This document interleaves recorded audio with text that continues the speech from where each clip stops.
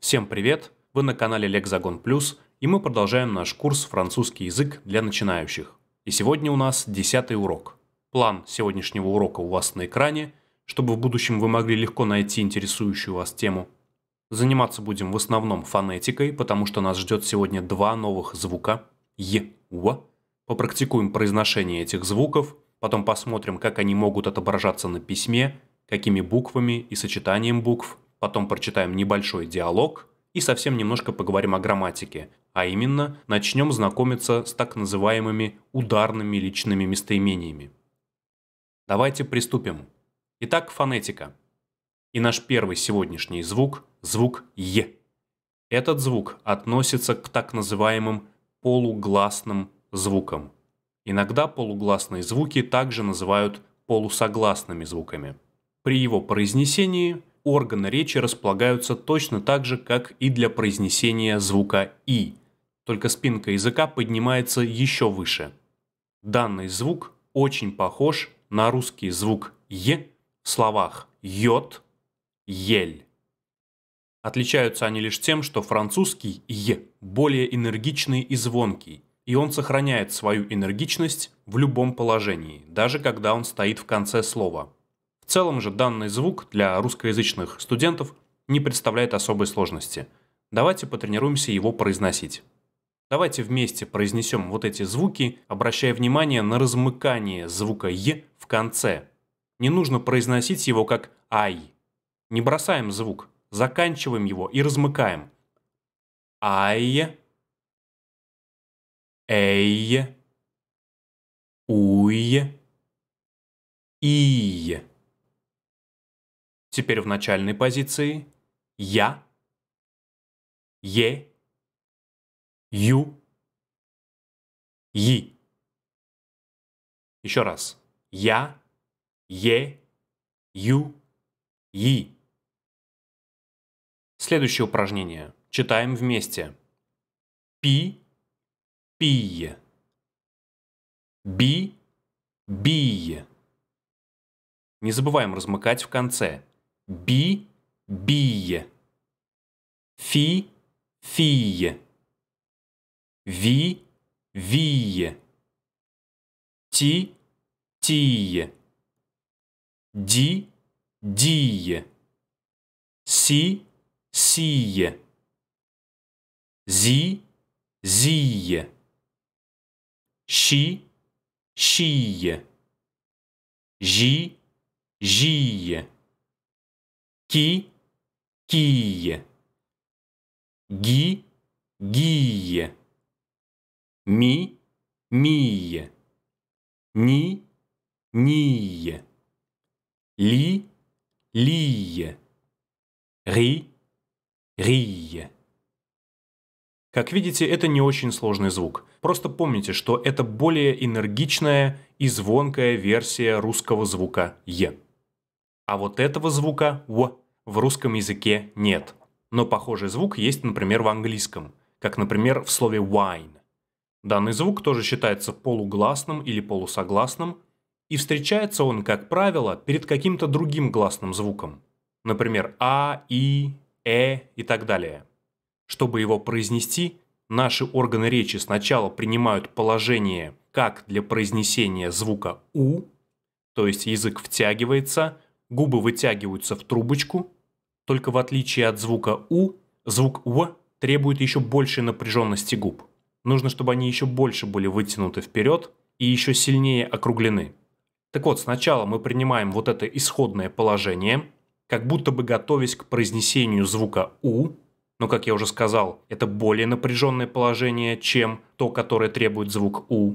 А затем из этого положения мы резко переходим к произнесению последующего гласного звука. Например, если это «а», то у нас получается «ва», «ва». Если это «и», то у нас получается «ви», «ви». Если это «э», то у нас получится «вэ», «вэ». Также важно понимать, что данный звук образует один слог с последующим гласным звуком. Например, если мы возьмем слово «we», «да» по-французски, это не два слога «в» и «и». Это один слог «вы», потому что звук «в» не является гласным. Это полугласный звук. Он не может образовать слог сам по себе, только в комбинации с последующим гласным звуком. Давайте потренируемся произносить данный звук. Давайте сначала скажем «у», а потом без паузы перейдем к «и». У нас получится «уи». «Уи». Здесь губы вытянуты вперед, язык оттянут назад. Затем мы растягиваем губы в улыбку, а язык вытягивается вперед. У нас получаются два звука «у» «и», которые мы можем произнести с паузой «у-и». Видите, это два слога «у-и». Но мы в этом упражнении произносим их слитно. Еще раз. «У-и». «У-и». А теперь мы сделаем следующее. Сначала приготовимся произносить звук «у», примем вот это напряженное положение губ и языка, подкачаем немного воздуха в щеки, у у и затем резко переходим к звуку «и». У нас получается «уи», «уи». И это уже будет один слог. Произнесем еще раз вот эту пару. Уи. Уи. Теперь усложним задачу. Добавим согласный звук «п». И у нас получится «пуи», «пуй». Еще раз. «Пуи», «пуй». «Буи», «буй». «Буи», Буй. Вот это сочетание чуть сложнее, потому что звук «ф» является зубно-губным, тогда как звук «в» является губным. И довольно-таки непросто быстро перейти от зубно-губного к губному звуку. Нужна практика. Ну давайте попробуем. Фуи. Фуи. Фуи. Фуи. Та же самая сложность и здесь. Вуи, вуи. Еще раз. Вуи, вуи. Луи, луи. Луи, луи. Руи, руи. Руи, руи. При выполнении упражнения на звук «в» следите за тем, чтобы вместо звука «в» у вас не получался звук «у». Особенно в таких сложных комбинациях, как это, например. Звук «у» у нас вот здесь. Фуи. Фуи. А здесь у нас звук «в». Фуи. Фуи. Эти два звука похожи только положением языка и губ а по звучанию они абсолютно разные. У, В. Не смешивайте их. Следующее упражнение. Произнесем вместе. Пуи, буй. Фуи, вуй. Туй, дуй. Суи, зуй. Шуи, жуи. Куи, гуи. Муи, нуи. Луи, руи. В этом упражнении потренируемся произносить звук «в» в сочетании со звуком «э». Произнесем вместе. Пуэ, буэ.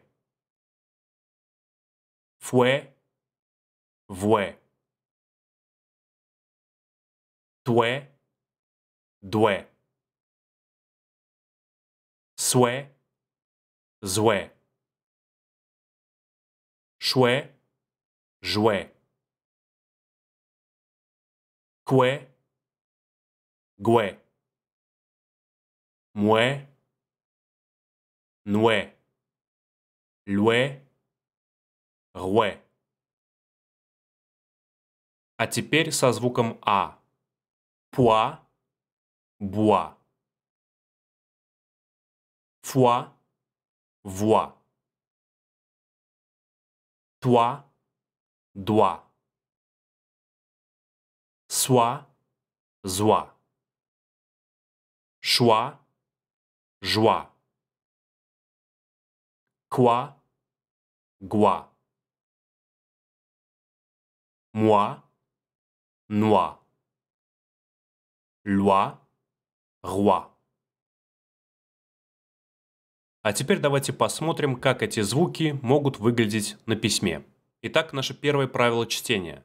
Гласное «и» перед произносимой гласной читается как «е» и образует с ней один слог. Как, например, в следующих словах. Прочитаем их вместе. Пьеса. Видим букву «и», за которой следует произносимый гласный «э», а значит, все вот это вместе читается как «е», и все слово читается в один слог. Пьес. Мюзисьен. Здесь то же самое. Йен. По слогам это будет мю, зи, сьен. Маньяк. Ма, ньяк. Рельеф. Italienne. Parisienne. Canadienne. Diète. Diamètre. Acacia. A. Sia. Mariette. Marianne. Asiatique. Пианист. Следующее правило. Буквосочетание ИЛЛ после гласной читается как Е. Как, например, в данных словах. Прочитаем вместе. Бутейе. Travail. Taille. Марсей. Марсель. Версаль. Версаль. Мирей. Обратите внимание, что вот в этих словах буква А с буквой И в данной ситуации не образуют звука Э. Помните, у нас было такое правило, что когда буква А идет вместе с буквой И, то вся эта комбинация читается со звуком Э. Но это правило не работает, когда после А идет И с двумя «л». В таких ситуациях буква А читается со звуком А, а после нее произносится звук Е. И мы получаем «тхавайе», «тайе». Следующее правило чтения. Буквосочетание ОЮ перед произносимой гласной читается как «в» и образует один слог с последующей гласной. В остальных случаях мы помним, что сочетание букв ОЮ читается со звуком У. Но когда после ОЮ идет какой-то произносимый гласный, данное буквосочетание читается как В. Как, например, в данных словах. Прочитаем вместе. Луи. Один слог. Луи. Луиза. Бивуак. Два слога. Би-вуак. Зуав. Муэт. Пируэт. Следующее правило. Буквосочетание ОИ, ОИ с акцентом акцент circonflexe читаются в один слог как «ва». Например, в таких словах, как moi, toi, coiffeur, coiffure, boîte, niçois, mademoiselle. В данном слове также обратите внимание на выпадение беглой «э». Мадмуазель. Теперь давайте прочитаем небольшой диалог. В данном диалоге происходит следующая ситуация. Раздается звонок в дверь, мужчина подходит к двери, после чего происходит следующий разговор. Киэля. Кто там? Moi, Мирей. Это я, Мирей. А, c'est toi, Мирей. Ça va? А, это ты, Мирей. Привет. Как дела? Va. Аннет là? Спасибо, все хорошо. Аннет здесь? Она дома? Аннет не поля. Аннет здесь нет. À Marseille. Она в Марселе. Elle arrive ce soir. Она приезжает сегодня вечером. Голосовое сцепление здесь. Là? Сцепление также вот здесь. Аннете. Аннете ля? Также здесь. Elle Та Марсей. Сцепление, связывание. Elle est à Marseille. Elle arrive ce soir. Elle arrive ce soir. Далее полезное выражение «келя», которое можно перевести как «кто там». В этом диалоге мы также знакомимся с ударными личными местоимениями «moi» и «toi», который переводится как «я» и «ты», соответственно. До этого урока мы работали только с так называемыми личными приглогольными местоимениями, такими как «je», «я», «tu», «ты», «il», «он», «эль», «она». Так вот, ударные местоимения отличаются от личных приглогольных местоимений тем, что могут использоваться самостоятельно – тогда как личные приглогольные местоимения всегда сопровождаются каким-то глаголом. Tu admires или admire, а ударные местоимения используются самостоятельно, без глагола. C'est moi. И они могут сами по себе образовывать ритмическую группу, в отличие от приглогольных местоимений, которые всегда приклеиваются к своему глаголу. Мы еще вернемся к ударным местоимениям в грамматической части. В данном предложении мы видим следующую структуру. Аннет не есть тут, здесь. На русский язык более естественно перевести как Аннет не здесь, ее тут нет. В последнем предложении у нас новое слово soir, вечер, мужского рода, начинается на согласный звук и букву, поэтому указательное прилагательное «этот» имеет форму «с», Дословно это переводится как «она приезжает этим вечером». Но по-русски мы говорим «сегодня вечером». Теперь давайте повторим предложение данного диалога, ориентируясь только на слух, не подглядывая в текст. Келя. C'est moi, Mireille. Ah, c'est toi, Mireille. Salut,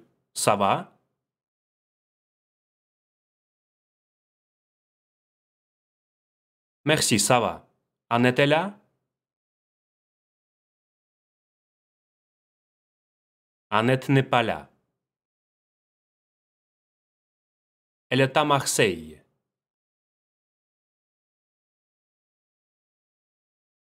Elle arrive ce soir.